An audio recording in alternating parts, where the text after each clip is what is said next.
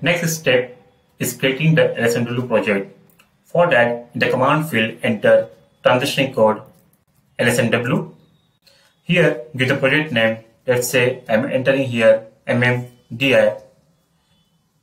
Give the meaningful name so that it is easy to refer. It is material management direct input. Let's say I'm going with mat master and I'm giving the same object name mm01 underscore di. Press enter, you can see no project exists with the name mm underscore di. So for that, click on create entry, give the project name like metal, we can, okay, it is material management, I want to give DIS, we can give any name here, direct method LSMW. Second, the third object. So here I'm creating the material master. The next one is the object. Create material MM01.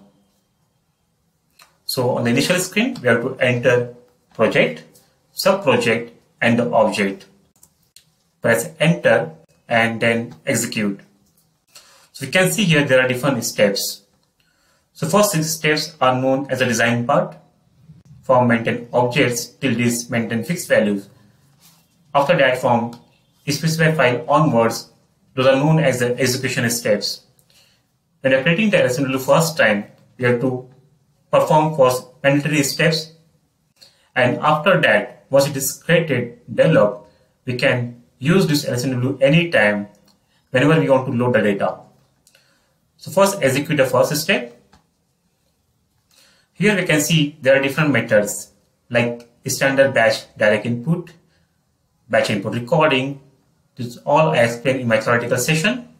So here, as first we are going with the direct input method. For that, in the object, click F4.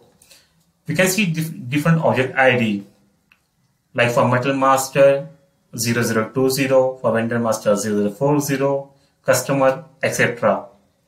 As in this demo, we are going to create Material Master. For that, select 0020. In some object, there are different methods. So for that, we have to click F4. If only single method is there, that will directly get assigned like this.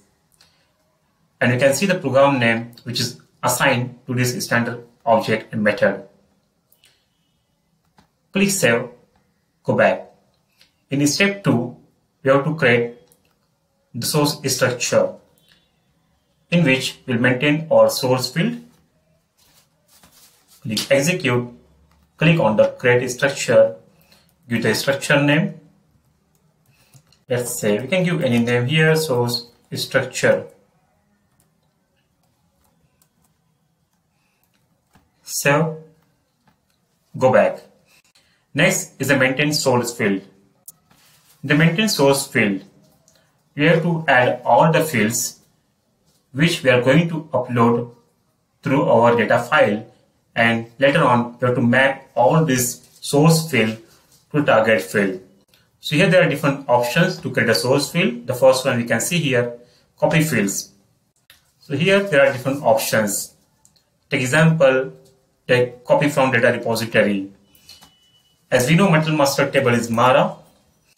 So enter Mara table name you can see all the fields here. Second is this create or create field.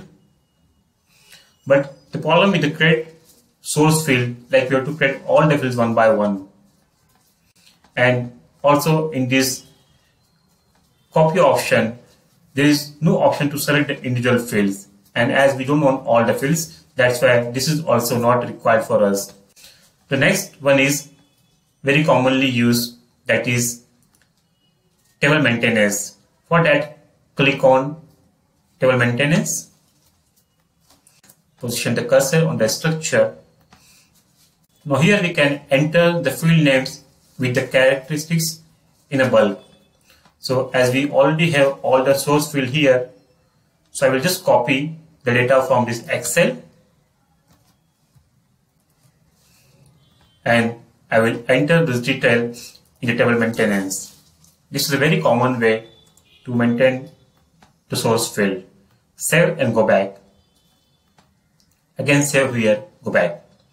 The next is maintain structure relation. This is also very important.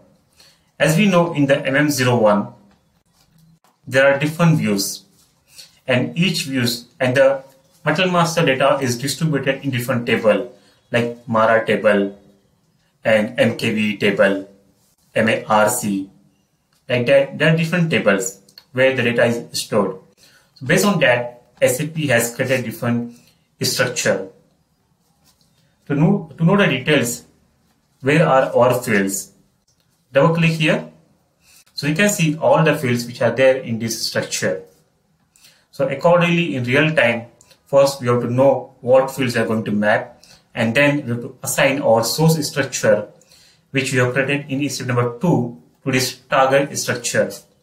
If we have multiple structures, then we have to select target structure and click on relationship. In case of multiple, a pop-up will come and we have to select the required one. Now, in this case, we have only single structure. So for that, if you click here, so can see directly structure is assigned. Second option, just double click, you can see it is assigned. And here I'm going to assign to first three. As the first three are mandatory part, remaining are optional.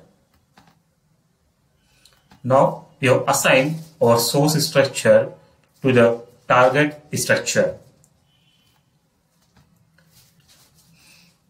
Next is maintain field mapping and conversion rules. Click execute. These steps you have to maintain the field mapping. Take example, now here the transaction code. So as we know the transaction code is MM01 and it is going to be constant throughout the data load.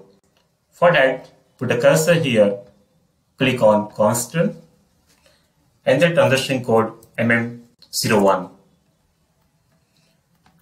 So we have assigned the first field, constant value MM01. Like this, you have to assign either the source field or the constant value. The second is MBRSH, that is industry sector. To assign the source field to this target field of this structure, select the field name, click on source field. As we have created our source, source field with the same name, so it is easy to identify. But in real time, if it is different, we should know which field to be mapped. So I'm selecting same here, MBRSH. Now, this is also time consuming if you have 30 to 40 fields. And if our field names are matching with the source and target, there's one more option. Go to extras, Auto autofill mapping. Don't change any setting, just press enter. So here system will automatically identify the source field with the target one and here you can see the proposal one, it is matching with 100%. Click on accept proposal. The second field that is unit of measure. The last field that is uh, so next field is the MAKTX. The last one is the material group MATKL. Autofill mapping complete. So in this way, on this screen, in this step, you have to assign either the constant value or you have to do the field mapping or we can add some rules. Click on save button, go back. So now, as I mentioned, okay, this step we don't require at this stage. So as I mentioned, this contains two blocks. One is the design part and second one is the execution part. So we have done with the design part. Next, we'll see how to execute the LSMW with the data file.